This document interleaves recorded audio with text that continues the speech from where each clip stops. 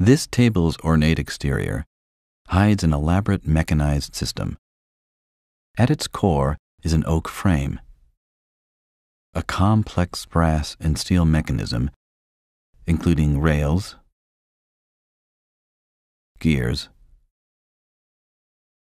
and a release lever controls a movable writing desk.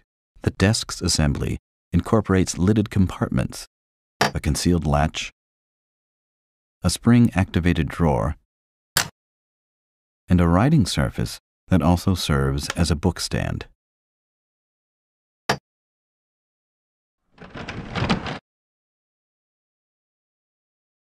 A bolt prevents the desk from moving too far.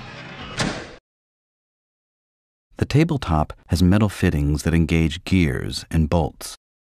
Long rods prevent the tabletop from sliding too far. A large key is used to wind the mechanism's coil springs. A small key unlocks and opens the desk. As the desk is closed, the spring mechanism rewinds. The marquetry tabletop surface has a ground of purple heartwood, into which thin pieces of other colorful wood are assembled like a jigsaw puzzle.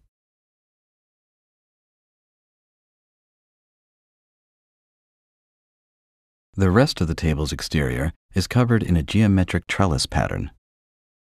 Ornamental gilt bronze mounts frame and protect vulnerable wood edges.